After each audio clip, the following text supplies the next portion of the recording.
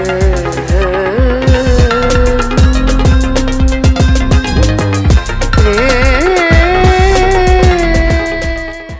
दोस्तों नमस्ते। कैसे हैं आप सभी? आशा करते हैं आप लोग अच्छे होंगे। मैं अच्छी हूँ और उम्मीद करती हूँ कि आप लोग भी बहुत अच्छे होंगे।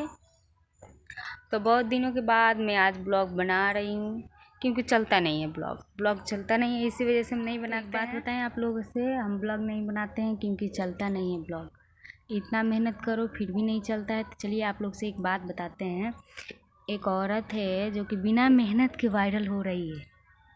इतना तेज़ी से वायरल हो रही है कि मैं आप लोगों से क्या बताऊँ? तो चलिए, उसका एक छोटा सा वीडियो है हमारे पास। उसको दिखाते हैं आप लोगों को। आप लोग वीडियो में बने रहिए। चलिए आप लोगों को दिखाते हैं। और आप लोग कमेंट करके बताइएगा, क्या ये वीडियो आप लोग पहले देखे हैं या नहीं देखे हैं? तो प्लीज़ आप लोग